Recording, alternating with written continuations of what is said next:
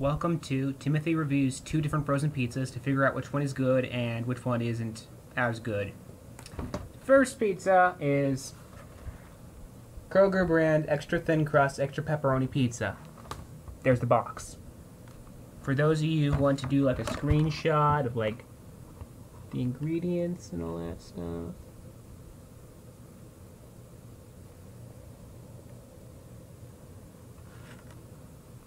Okay, yeah, there's that.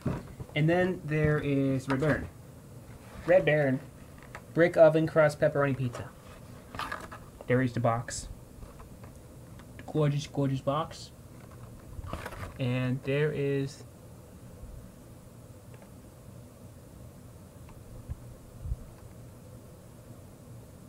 Yeah, I- I'm using a very bad camera, obviously, so laugh all you want. Okay, so this right here, you can see it, this is the Kroger brand stuff. I already had some of this. I'm pretend I haven't had it. So, taking off these.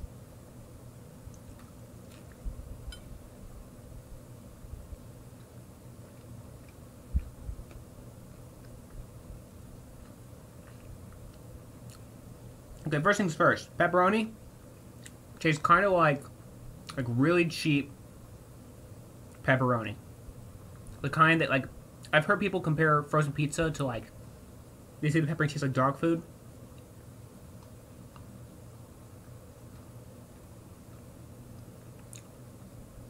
Yeah, it tastes kind of like it tastes kind of like what you would imagine like the meat you would find in a can for dog food would be like.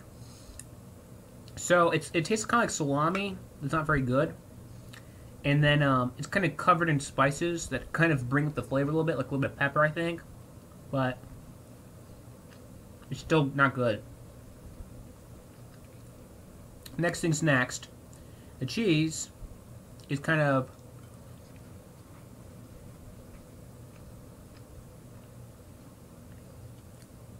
It's there, kinda. It's like unusually sweet. It's got the taste like like just straight plain parmesan kind of or maybe like really sweet mozzarella the sauce is um kind of sweet a little bit tangy i'm not sure if i like that or not but we can all agree the pepperoni needs a little more kick and the cheese could have a little more variation and maybe the sauce could be a little thicker i suppose and the bread's kind of it's crackery. Tastes like a cracker. I like crackers, but so Red Baron, brick oven crust. First things first. Okay, see how the the pepperoni's different? Like this pepperoni got like a little bit like a lot of grease on it. And Zulka's dried out. It's very chewy. Wow, that is definitely spicy. Very pleasing texture. I mean,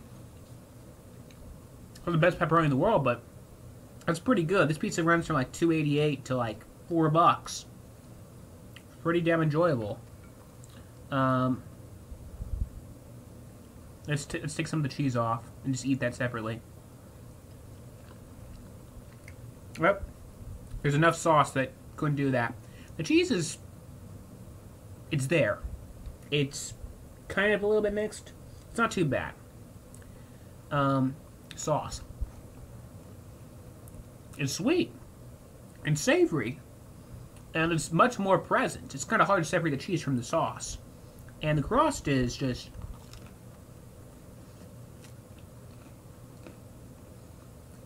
Kind of hard and tough on the side which we've overcooked a little bit. A tough breadstick kind of feel. But that's just the fact that it's a brick oven pizza. It's kind of overcooked a little bit. If you like like a, like a Texas toast kind of flavor, you'll probably like this. Yeah, it's very nice. The, the, the inside crust is kind of tough and leathery, but like in a good way. Like, like eating like an English muffin, like a really good bagel. So, I would say these are both pretty good. Um, I don't think the brick oven pizza is my favorite from Red Baron.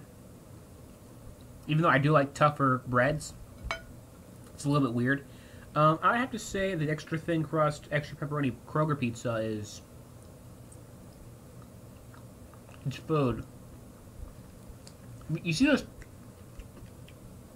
Totino's party pizzas you see at the store? Don't get yourself those. The cheese isn't real cheese. They say so in the box. There's like a tiny bit of cheese in there, but mostly just oil. And the meat's like super questionable. Sauce is transparent. You think this is crackery? Totino's party pizzas are really crackery. I mean, it, it's pretty good for a dollar. It's like you know ramen noodles of pizza. But, and as for the uh, the extra thin, extra pepperoni crust Kroger pizza, I'd say if it's really good price, sure, get it. I suppose. I mean, add a lot of hot sauce on it, a lot of pepper parmesan, or um, drink while eating it. It's a lot better than the party pizza. So if you're willing to eat the party pizzas, then eat that. And uh, it's not nearly as good as Tony's pizzas if you know what those are, They're made by the same company that makes Red Baron. Um, those are pretty good too. They're, they're better than this. Okay, so that's pretty much the entire review. Um, I hope you uh, enjoyed it, and if you didn't, you can go cry in a dark place.